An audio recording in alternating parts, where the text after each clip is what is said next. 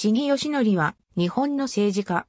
元大阪府岸和田市長、元岸和田市議会議員。大阪府岸和田市三田町に生まれる。岸和田市立山台北小学校、岸和田市立山田中学校、明星高等学校、同志社大学小学部卒業。1983年4月から1993年3月まで大阪府議会議員の井上晋三の秘書を務める。1993年4月、大阪調理製菓専門学校の校長に就任。1996年4月からは、大阪健康福祉専門学校の校長も兼任する。1998年9月11日、肺動脈破裂により意識不明、植物人間状態となる。2001年5月、社会復帰するまでの9ヶ月間の闘病生活の体験記を出版。2003年4月、岸和田市議会議員選挙に無所属で出馬し、初当選。2007年に再選、2011年に3回目の当選。2011年5月から2013年5月まで岸和田市議会の議長を務めた。2013年9月26日、岸和田市長選挙に立候補することを表明。同市長選において自由民主党と民主党と連合大阪は市議の推薦を決め、日本共産党は市議を自主支援した。対立候補の原田秀夫は、日本維新の会の遠藤隆衆議院議員の前、公設秘書で、かつては大阪維新の会の長野隆夫大阪府議会議員の秘書を務めた経験もあったが、堺市の二の舞になると警戒し、維新の会に対し公認は元より推薦も求めない。方針で市長選に臨んだ。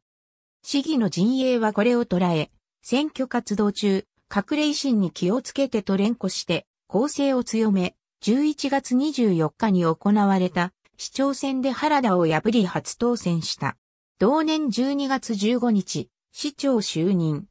当日有権者数15万8627人、最終投票率 34.69%2017 年8月、自民党岸和田支部は、市議への推薦を見送った。10月5日、岸和田市議の西田武氏が出馬表明。11月26日に行われた市長選で自民党岸和田支部と同党府連の推薦を得た西田建築士の吉野富博を破り再選を果たした。当日有権者数16万2498人、最終投票率33.61%、再選した翌日の2017年11月27日、市議は記者会見し、2013年の市長選をめぐり、自民党の推薦を得るため同党関係者に現金200万円を渡したと述べた。さらには11月28日、2017年の市長選をめぐって市議と大阪18区の衆議院議員、神谷昇が、同党岸和田支部役員に民間団体が集めた党費約112万円と党員名簿の提供を申し出ていたことが明らかとなった。12月1日、党関係者に渡した現金200万円は政党支部への献金であると市議会全員協議会の場で述べ、関連団体の政治資金収支報告書に記載がない点は、忙しく出現していたと釈明した。日曜日である12月17日、市役所の警備員に鍵を開けさせて、無人の記者室に入り、報道各社の机に、市議の金銭疑惑を明らかにした男性を、批判的に記した資料を置いた。資料はすべて実名で記され、個人情報に関する法令に違反する可能性があり、12月18日に記者が資料について問いただした際は知らないと否定した。しかし後になって不適切な行動だったと認めて謝罪した。同年12月21日、辞職願を提出。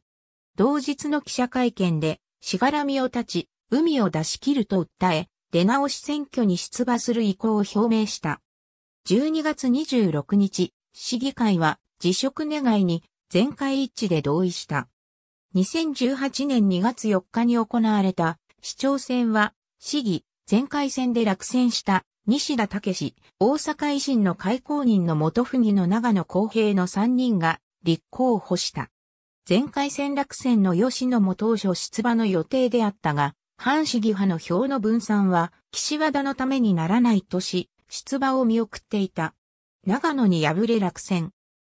当日有権者数16万1579人、最終投票率31.43%なお、市議は2013年の当時の岸和田市長選挙でトリベール泉の岸和田芝も構想に掲げ、仙北高速鉄道の岸和田市への延伸を選挙公約として訴えて当選したが、結局、在任中はその実現には至らなかった。ありがとうございます。